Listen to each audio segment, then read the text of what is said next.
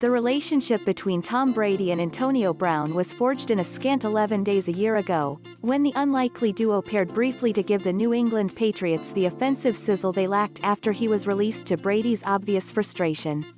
That it will soon renew now in Tampa Bay was predictable only to those who follow the breadcrumbs of their chemistry and who understand the power dynamics of an NFL franchise, who watched that one game in Miami last September when, after just a few days of practice, Brown caught four passes for 56 yards, including a beauty of a back shoulder touchdown throw from Brady. That day, with an NFL investigation into a rape allegation looming, Brady was asked if he felt conflicted about Brown, given the circumstances. I don't make any of those decisions, Brady said. I just show up and play and do my job. Well, not entirely.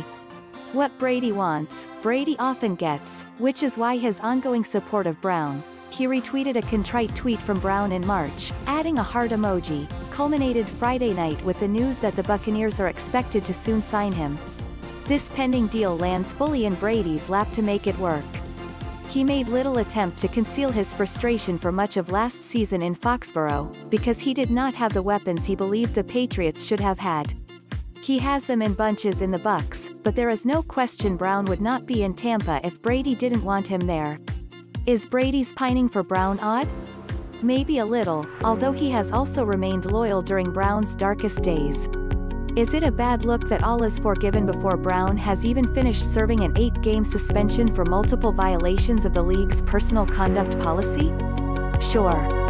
Those violations stemmed from Brown's no-contest plea to burglary and battery charges in Florida and accusations he sent intimidating texts to a woman who accused him of making unwanted advances toward her. When his suspension was announced in July, the NFL was still looking into civil claims of sexual assault and rape against the receiver, although Commissioner Roger Goodell struck a notably sympathetic note when he spoke of Brown at the Super Bowl in January, saying the league was thinking foremost of his well-being and wanting to help him get on track to be successful in life. But most confusing is why a team like the Bucs, which is so